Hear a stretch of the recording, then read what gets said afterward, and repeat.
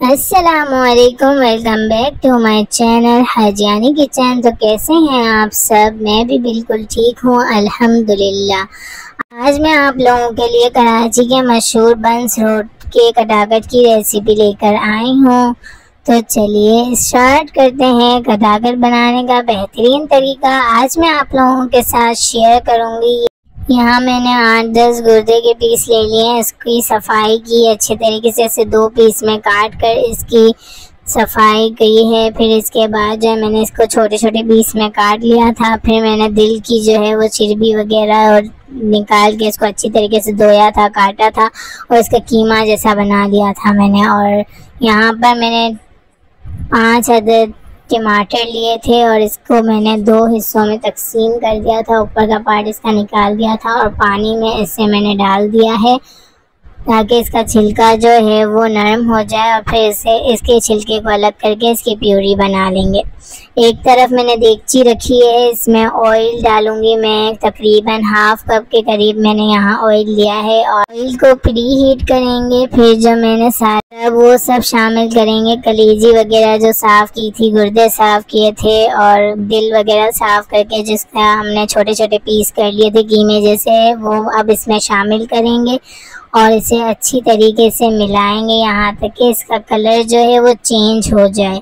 फिर जैसे ही इसका कलर चेंज हो जाएगा तो हम इसमें लहसुन, अदरक का पेस्ट शामिल कर देंगे।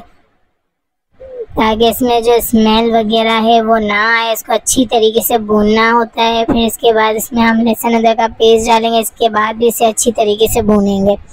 इसकी बुनाई अच्छी तरीके से होनी चाहिए और हाथ, और यहाँ पर मैंने हरी मिर्चें शामिल की हैं। और यहाँ पानी शामिल नहीं किया था, लेकिन ये पानी जो इसका ही निकलता है वो है, और इसमें मैंने प्यूरी शामिल कर दिया अब इसके पानी को अच्छी तरीके से जला लें इसे भूनते रहेंगे टकाटक करते रहेंगे ताकि कीमे जैसा हो जाए और अच्छी सी शक्ल इस इख्तियार कर ले। और इसका टेस्ट भी बहुत ही अच्छा होता है। बहुत ही सिंपल मसाले मैंने यहाँ पे शामिल किए हैं। ज़्यादा मसाले नहीं डाले हैं। बिल्कुल ही कम इंग्रेडिएंट्स इसमें शामिल होते हैं और ये बहुत ही मज़ेदार बनकर तैयार होता है। तो यहाँ पर तीन मसाले मैंने ऐड कर दिए हैं। थोड़े से हसबे जायका जैसा आपके टेस्ट के मुताबिक आप यहाँ पे शामिल कर सकते हैं और इसे अच्छी तरीके से मिलाते रहेंगे। और यहाँ पर मैंने चार टेबल स्पून के करीब दही ले लिया है। वो अब मैं इसमें शामिल करूँगी और इसे मिला लूँगी अच्छी तरीके से। हल्की आँच पर दही शामिल करेंगे। कोई भी सफ़ेद चीज़ आपको शामिल करनी हो, मलाई है, दही है, वो हल्की आँच पर क्या करें ताकि उसके लम्स जो हैं वो नज़र ना आए, गुठलियाँ बन जाती हैं, वो नज़र ना आए। और ये अच्छी तरीके से जो है वो बुनाई हो जाए इसकी। और यहाँ पर अब मैंने मगज़ जो मैंने बॉईल करके रख दिया था, पहले से ही वो ऐड किया है। ये मटन का कटाकट है। मटन का मगज़ मैंने यहाँ ऐड किया है। और हरी मिर्चें भी ऐड कर दी हैं ताकि एक अच्छा सा फ्लेवर और मगज़ को ज़्यादा कीमा नहीं कर देना। ऐसा रखना है कि ये नज़र आए। खाने में भी मज़ा आता है। तो इसे हल्का हल्का हम जैसे मैश कर लेंगे और इसे मिला लेंगे। खटाखट अच्छी तरीके से बन जाएगा तो अब इस स्टेज पर हम इसमें नमक, हसब ज़रूरत शामिल करेंगे। पहले हमने नमक इसलिए शामिल नहीं किया था क्योंकि जो है वो कलेजी वगैरह जो है वो सख्त हो जाती है, दिल कलेजी ये सख्त हो जाते हैं और ये सॉफ्ट रहे, इसलिए हमने यहाँ एंड में नमक शामिल किया है। कसूरी मेथी डाली है, यहाँ पर मैंने एक चम्मच के करीब कढ़ाई का मसाला भी डाला था। और ये मैंने ऐसे पकने के लिए छोड़ दिया है। तो देखिए, मज़ेदार सा कटाकट, मटन कटाकट कढ़ाई बनकर तैयार हो चुकी है और ये बहुत ही मज़ेदार, खुशबूदार तैयार हुई है। सच में बनाकर देखिए, बहुत ही मज़ेदार रेसिपी है। आप लोगों को कैसी लगे, कमेंट में ज़रूर बताएँ।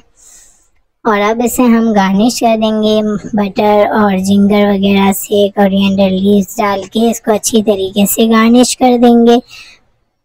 कराची का मशहूर बंस रोड का कटाकट बनकर तैयार हो चुका है। कैसी लगी मेरी ये रेसिपी आप लोगों को इसकी फाइनल लुक कैसी लगी? कमेंट में बताएँ और अभी तक अगर आप लोगों ने मेरे चैनल को सब्सक्राइब नहीं किया तो जल्दी से सब्सक्राइब कर दीजिए, बेल नोटिफिकेशन को ऑन कर दीजिए और मेरी वीडियोस को वॉच कीजिए, मेरे चैनल को लाइक कीजिए शेयर कीजिए, ज़्यादा से ज़्यादा लोगों तक इसे पहुंचाइए।